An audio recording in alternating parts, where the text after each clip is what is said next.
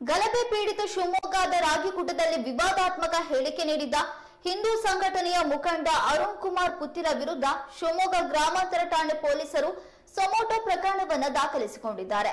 ಹಿಂದೂಗಳ ಮೇಲಿನ ದಾಳಿಗೆ ಸರ್ಕಾರ ಬೆಂಬಲ ನೀಡ್ತಾ ಇದೆ. ಹಿಂದೂಗಳ ಮನೆಯಲ್ಲಿ ತಲ್ವಾರ್ ಇಟ್ಕೊಳ್ಬೇಕು. ನಮ್ಮ ಸಮುದಾಯದ ಬಳಿಯೂ ಆಯುಧಗಳು ಮತ್ತು ಕತ್ತಿಗಳಿವೆ. ನವರಾತ್ರಿಯ ಸಂದರ್ಭದಲ್ಲಿ ಆಯುಧಗಳನ್ನು ಪೂಜಿಸಲಾಗುತ್ತೆ. ಅಂದು ಪ್ರತಿ ಮನೆಯಲ್ಲೂ ಆಯುಧ ಪೂಜೆಯನ್ನ ನೆರವೇರಿಸಬೇಕು. ಜನ ಸ್ಕ್ರೂಡ್ರೈವರ್ ಸ್ಕ್ಯಾನರ್ಗಳನ್ನ ಪೂಜಿಸುವುದನ್ನು ಬಿಟ್ಟು ಕತ್ತೆಗಳನ್ನ ಪೂಜಿಸುವುದಕ್ಕೆ ಪ್ರಾರಂಭಿಸಬೇಕು ಎಂದು ಪ್ರಚೋದನಕಾರಿ ಹೇಳಿಕೆಯನ್ನು ನೀಡಿದ್ರು. ಈ ಕುರಿತು ಶಿವಮೊಗ್ಗ ಗ್ರಾಮಾಂತರ ಪೊಲೀಸರು ಅರುಣ್ ಕುಮಾರ್ ಪುತ್ತಲ ವಿರುದ್ಧ ಸ್ವಯಂ ಪ್ರೇರಿತ ಪ್ರಕರಣವನ್ನ ದಾಖಲಿಸಿಕೊಂಡಿದ್ದಾರೆ.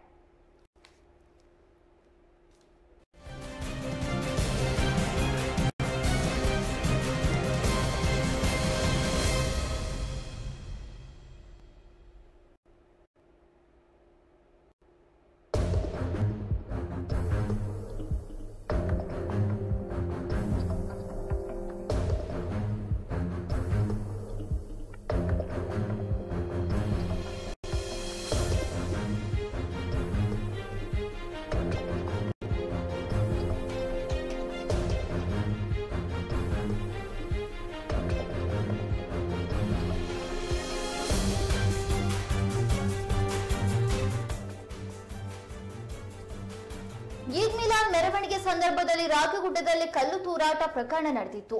ಈ ಗಲಾಟೆಗೆ ಸಂಬಂಧಪಟ್ಟಂತೆ ಶಿವಮೊಗ್ಗದ ರಾಗಿಗುಡಕ್ಕೆ ಹಲವಾರು ರಾಜಕೀಯ ಮುಖಂಡರು, ಹಿಂದೂ ಮುಖಂಡರು ಭೇಟಿ ನೀಡಿ ಪರಿಶೀಲನೆ ನಡೆಸಿದ್ದಾರೆ. ಘಟನೆ ಕುರಿತು ಮಾಹಿತಿಯನ್ನು ಪಡೆದುಕೊಂಡಿದ್ದಾರೆ. ಇಂದು ನಿನ್ನೆ ಹಿಂದೂ ಸಂಘಟನೆಯ ಮುಖಂಡ ಅರುಣ್ ಕುಮಾರ್ ಪುತಿಲ್ ಅವರು ರಾಗಿಗುಡ್ಡಕ್ಕೆ ಭೇಟಿ ನೀಡಿದ್ರು. ಆ ಸಂದರ್ಭದಲ್ಲಿ ಶಿವಮೊಗ್ಗದಲ್ಲಿ ಅವರು ಮಾತನಾಡಿ ಇನ್ಮುಂದೆ ಹಿಂದೂಗಳು ಆಯುಧ ಪೂಜೆಯನ್ನ ಮಾಡಬೇಕು. ಪ್ರತಿಯೊಬ್ಬರ ಮನೆಯಲ್ಲೂ ಕತ್ತಿಗಳನ್ನ ಇಟ್ಕೊಳ್ಬೇಕು. ನಮ್ಮಲ್ಲೂ ಆಯುಧಗಳು ಕತ್ತಿಗಳಿವೆ. ನವರಾತ್ರಿಯ ಸಂದರ್ಭದಲ್ಲಿ ಆಯುಧಗಳನ್ನ ಪೂಜಿಸಲಾಗುತ್ತೆ. ಅಂದು ಪ್ರತಿ ಮನೆಯಲ್ಲೂ ಆಯುಧ ಪೂಜೆಯನ್ನ ನೆರವೇರಿಸಬೇಕು.